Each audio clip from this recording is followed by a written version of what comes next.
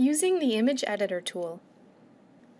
FolioLink accounts come with a built-in tool to resize, crop, rotate, sharpen, and add borders or text to your images.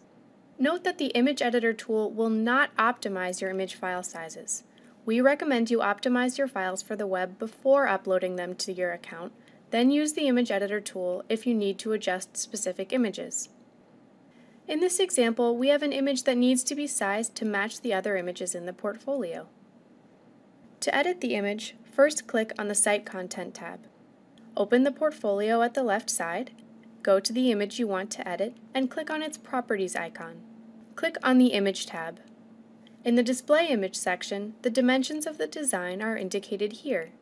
This image has been auto-sized to fit the Santiago HTML design.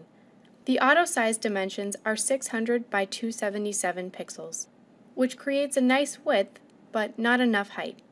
To edit the image size, click on Custom, then click on Edit Image. Click on Resize. If you see a message indicating the image exceeds current design recommendations, just ignore it for now and click OK. Again, the design dimensions are listed here, 600 by 400. If we click Fit Vertically, the image size will enlarge to fit the vertical dimension of the layout.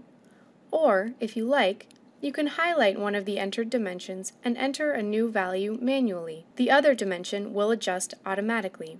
Whether you enter your own value or use one of these buttons, when you're finished, click Apply. Then click Save and Exit. If you see this message indicating the file size is larger than the recommended size, it's probably because you've enlarged the image beyond the design's auto-size dimensions. Close the message window and select a reduction amount here. Then click Save and Exit. Click Submit, then Preview.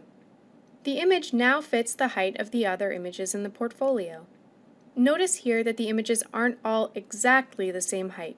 If you want to make them all the same height or the same width, you can use the Batch Resize tool under the More Options tab. We won't batch resize now, but you can learn more about this tool in the image sizing section of our help menu. To crop an image, again click on its Properties icon, Image tab, Custom, and Edit. Notice that anytime you click Edit, the system reverts back to using your original image with its original size. This is meant to preserve the image rather than making a copy of a copy every time you use the editor. I'll just resize my image again to fit vertically, then apply.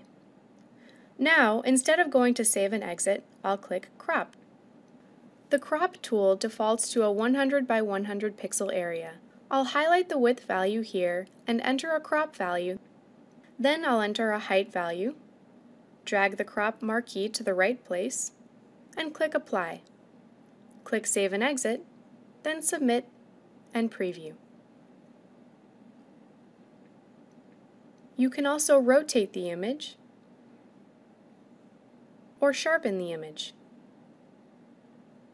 We'll get to text in a minute. First, we'll look at borders. To add a border to the image, select a color, a pixel width, and where you want to put the border. You can also select to place the border inside or outside of the image. Keep in mind the size of your image because if the image already fills the design, an outside border will be cropped. When you've picked your border settings, click Apply. The last option in the image editor is text. You can add text to any part of an image, but if you add a border first, as we've done here, then you have a nice space to add a caption to the image. Select a font, size, and color, position the marquee with your mouse, and enter your text. Click Apply. If you see this message indicating the file size is larger than the recommended size, it's because the text and or the border you've added have made the file size larger. Close the message window and select a reduction amount here. Then click Save and Exit. Click Submit, then Preview. The same image editor options described in this video can also be used on your thumbnail images. For more information, please refer to our help menu or feel free to contact us at info at foliolink.com.